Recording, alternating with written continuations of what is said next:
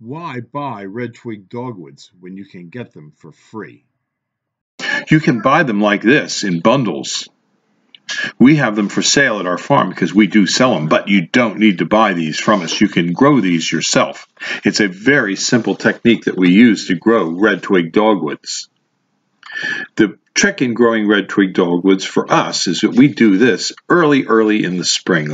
And what we do is we take a stem that has no leaves on it and we stick it into a soil that's very porous and moist and then cover it with a plastic container so that it stays moist for a long period of time.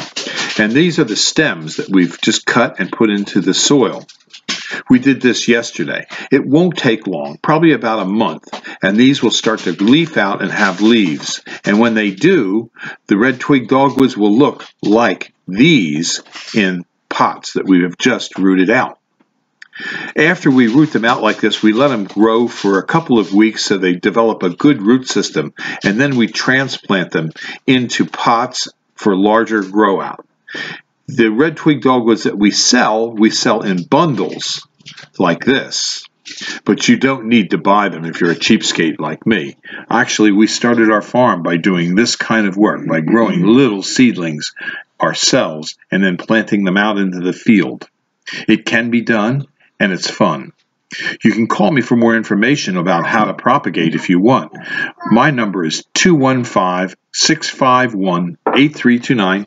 This is Bill at Highland Hill Farm. We specialize in screens and buffers and are located in Fountainville, PA. Before you arrive at Highland Hill Farm, please stop in at a grocery store and buy me a pecan pie. A pecan pie will get you all kinds of extra free things at Highland Hill Farm, including a fossil of the dawn redwood tree. Yes, we grow dawn redwood trees, and we're the only nursery in the world that has the fossil as well.